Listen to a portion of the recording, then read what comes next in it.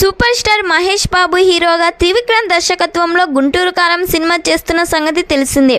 తాజాగా ఈ cinema climax పై ఓ క్రేజీ అప్డేట్ బయటకు వచ్చింది climax సీక్వెన్స్లో Mahesh second character big twist ఇస్తాడని అలాగే ఈ క్లైమాక్స్లోనే గుంటూరు కారం కథకు సంబంధించిన మిస్టరీ పాయింట్ కూడా రివీల్ అవుతుందని తెలుస్తుంది.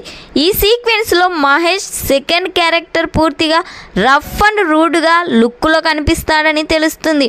గుంటూరు మిర్చియాడ్ నేపథ్యంలో ఈ కథ నడుస్తుందని సమాచారం వినిపిస్తుంది.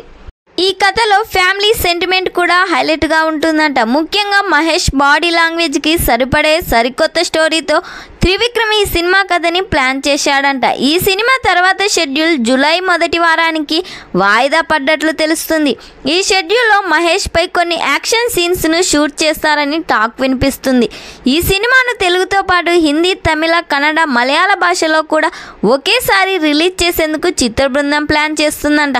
ఈ ఈ సినిమాను హారిక హాసిని క్రియేషన్స్ భారీ ఎత్తున ఈ సినిమాను నిర్మిస్తుంది. ఈ సినిమా మహేష్ కెరీర్లో ఇరవై ఎనిమిదవ సినిమాగా తిరగెక్కుతుంది. ఈ సినిమా జనవరి థర్టీన్ టూ థౌజండ్ ట్వంటీ ఫోర్న రిలీజ్ కానుంది. ఈ సినిమాలో హీరోయిన్గా శ్రీలీల నటిస్తుంది. మరి ఈ సినిమా థియేటర్లో రిలీజ్ అయ్యి బ్లాక్ బస్టర్ హిట్ కావాలని కోరుకుందాం.